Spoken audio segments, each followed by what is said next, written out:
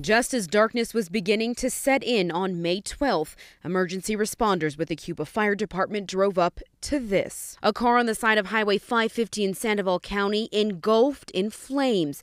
Inside that vehicle, a family of four heading to a soccer tournament in Albuquerque. It's like, why, God? Why them?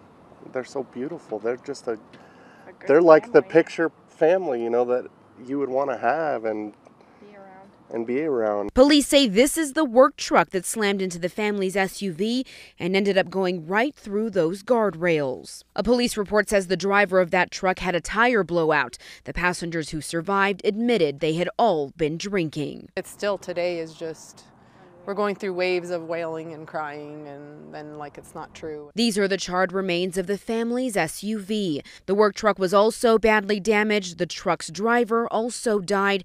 Three others in that truck are the only survivors. Sandra Ramirez, KOAT, Action 7 News.